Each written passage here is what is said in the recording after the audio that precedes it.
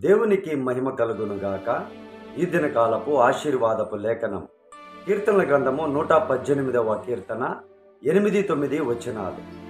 మనుష్యులను నమ్ముకొనుట కంటే యహోవాను ఆశ్రయించుట మేలు.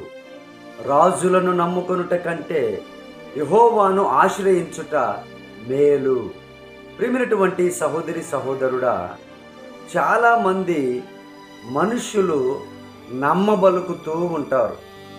చాలా మీ మీద ఎంతో ప్రేమ ఉన్నట్టుగా నటిస్తూ ఉంటారు. మమ్మల్ని నమ్ముకోండి మిమ్మల్ని అందలాలకి ఎక్కిస్తామని భయంకరమైనటువంటి హృదయము కలిగినటువంటి వారు అనేకులు ఉన్నారు ఇంకా కొంతమంది అధికారులు అంటే రాజులు వారి అవసరము ఉన్నప్పుడు మనుషులను ఏం చేస్తారంటే మభ్య పెడతారు ఇదిగో మమ్మల్ని రాజులుగా చేయండి మమ్మల్ని నాయకులుగా చేయండి. మమ్మల్ని ఇది మంచి పోస్టులో ఉంచండి మీకు న్యాయం చేస్తాము. మమ్మల్ని నమ్ముకోండి మీకు మంచి పరిస్థితిని కలిగిస్తాము అని మనుషులను మోసం చేసేటువంటి వారు తొంభై తొమ్మిది శాతం ఉన్నారు ప్రియా దేవుని బిడ్డలారా. మరి దేవుని బిడ్డగా నీవు జ్ఞానం పొందుకొని ఆయన యొక్క వాక్యం ద్వారా ఈ మనుషులు నమ్ముకోకు రాజులను అసలే నమ్ముకోకు. దేవునిని సర్వోన్నతమైన దేవునిని ఆశ్రయించు. ఆయన నీకు ఆశ్రయ దుర్గముగా ఉంటాడు.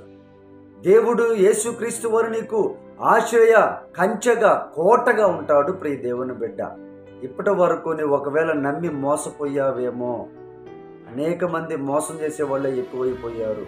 ఇదిగో నీవు ఈరోజు ఈ వాక్యం చూస్తూ బాధపడకు భయపడకు. ఇప్పటికైనా ప్రభువుని ఆశ్రయించు. ఆయనని ఆశ్రయించిన వారిని ఎవరిని కూడా ఆయన త్రోసివేసేటువంటి దేవుడు కాదు. నిన్ను గొప్పగా తిరిగి కట్టగలిగినటువంటి దేవుడు ఆయన. ఆయనను నమ్ముకో ఆయనను ఆశ్రయించు. మనుషులతో చాలా జాగ్రత్తగా ఉండాలి నీవు. చాలా జాగ్రత్తగా ఉండాలి. రాజులతో అధికారులతో చాలా జాగ్రత్తగా ఉండాలి. ఎప్పుడైతే నీవు వారితో జాగ్రత్తగా ఉండి ప్రభువుని ఆశ్రయిస్తావో అప్పుడు నిన్ను దేవుడు దీవించి ఆశీర్వదించి ఆయన గొప్ప చేస్తాను అని వాగ్దానం చేస్తూ ఉన్నాడు. ఈ రోజు నీ పరిస్థితి ఎలా ఉన్నా కృంగిపోకు ధైర్యం కలిగి ఉండు. మోసం చేసేటువంటి మనుషులు ఎక్కువైపోయారు. దేవుని బిడ్డ బాధపడకు ధైర్యంగా ఉండి.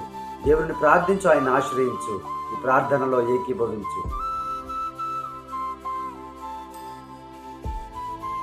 పరిశుద్ధాత్మదేవ మా ప్రియ పరలోకపు తండ్రి ఈ వాక్యమును చూసినటువంటి బిడ్డలు నాయన అయ్యా ఏ నమ్మక ద్రోహానికి గురైపోయారో ప్రవ్వ.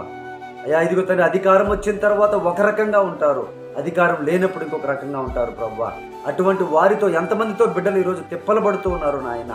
మీరే సహాయం చేయండి అయ్యా. బిడ్డలకు ఆశ్రయంగా ఉండమని ప్రార్థన చేసి ఉన్నాము నాయన. అయ్యా నీవే సహాయము చేసి వారికి ఉన్నటువంటి కష్టాల్లో నుంచి వారికి ఉన్నటువంటి ప్రతి నిందల్లో నుండి ప్రతి పరిస్థితుల నుండి మీరే లేవనెత్తి బిడ్డల పక్షముగా యుద్ధము చేయమని ప్రార్థన చేసి ఉన్నాము నాయన.